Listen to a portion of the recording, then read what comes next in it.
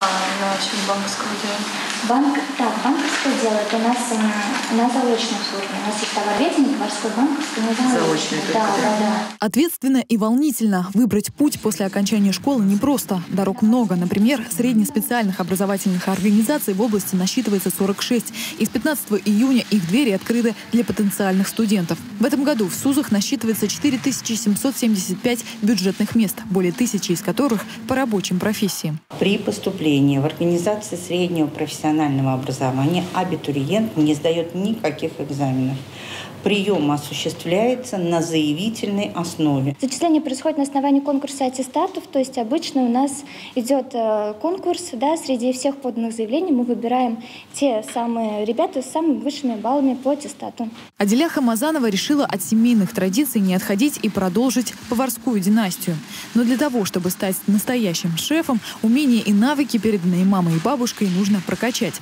За помощью обратилась в техникум питания и торговли. В будущем хочу стать поваром, шеф-поваром, если получится, и придумать свое блюдо. Екатерина Кабыкина выбрала путь мужской половины семьи, подала документы в железнодорожный техникум. И традиционно высокий конкурс при поступлении на все направления девушку не напугал. Я пошла на электрика.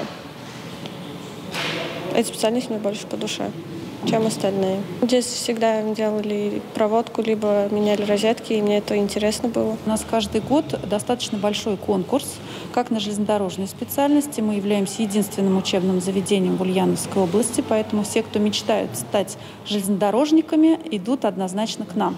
Топе IT направлений медицина и авиация. Документы подают как очно с соблюдением всех мер предосторожности. Маски, термометрия, обработка рук, так и дистанционно через портал госуслуг или сайт учебного учреждения. Прием заявлений на очную форму обучения продлится до 15 августа. И если в техникуме останутся места, Подать документы абитуриенты смогут и до 25 ноября. Время есть, осталось определиться с профессией. Маргарита Матюшинская, Геннадий Бухтаяров, репортер 73.